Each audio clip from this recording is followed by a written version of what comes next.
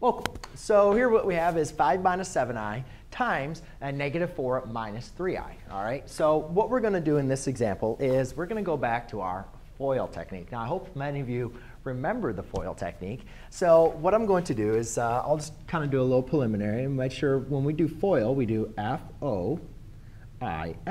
Now, if you've never learned the FOIL technique, and this is something new to you, what FOIL represents is the first terms, you're going to make sure you multiply. So this is just a special way to remember our distributive property.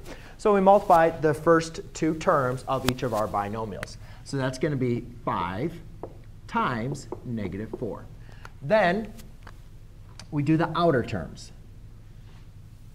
All right? So we multiply the two outer terms of our binomials, which is going to be 5 times a negative 3i. Then we do the two inner terms, which will be a negative 7i times negative 4. Then we do the two last terms, which is negative 7i minus 3i.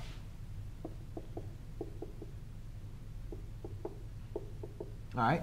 Then we just go ahead and you know see what this equals. So 5 times negative 4i is going to be a negative 20. I'm sorry, 5 times negative 4.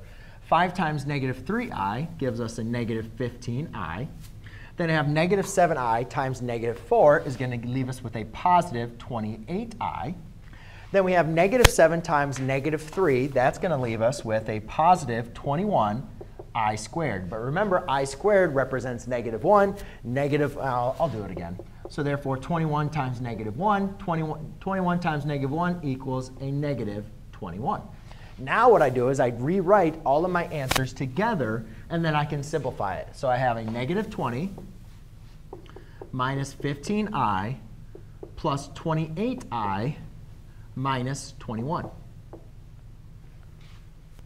Now, I can just combine, or I can rewrite this with my negative 21 and my positive 20 are negative 20 next to each other. So I do negative 20 minus 21 minus 15i plus 28i. Well, negative 20 minus 21, that's going to be a negative 41. And negative 15i plus 13i is going to be a positive, or negative 15i plus 28i is going to be a positive 13i. So there you go, ladies and gentlemen.